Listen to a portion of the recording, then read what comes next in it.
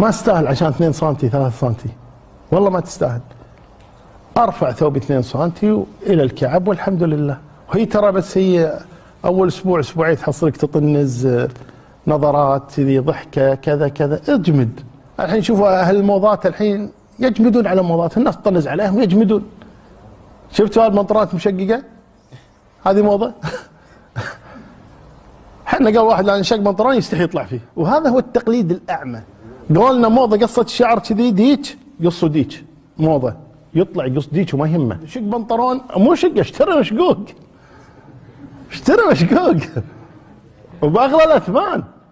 ويشتري مشقوق ويطلع فيه ما يستحي. يعني هذا اللي يجي يتطنز عليك مثلا يقول لك شنو إيش فيك مقص ما ما عندك فلوس؟ قول له أنا متبع للرسول. أنت متبع حق من؟ قول له كذي. يعني خليك جريء في اختياراتك. خاصة لما نقول هذه الاختيارات مطابقة للسنة.